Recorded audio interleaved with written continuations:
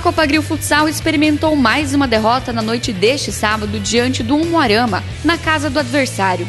Essa foi a terceira derrota consecutiva. A Copagril perdeu por 3 a 2. O primeiro gol foi marcado por Augusto, da equipe do Umuarama. O segundo foi marcado por Douglas, depois de receber um passe na área central da quadra. Ele dominou e chutou forte.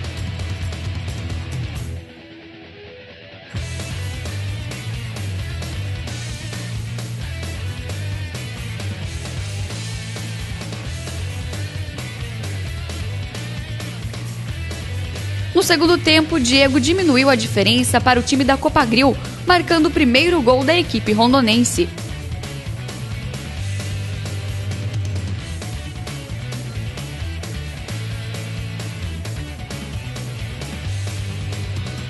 A Copagril passou a jogar com o goleiro linha e teve uma roubada de bola. Yuri chutou da quadra defensiva e marcou o terceiro gol para o Umuarama.